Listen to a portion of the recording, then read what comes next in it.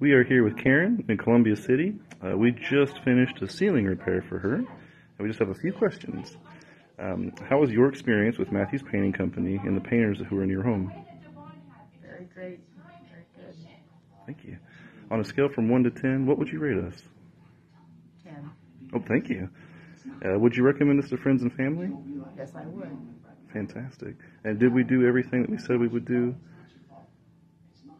Yes. Thank you very much.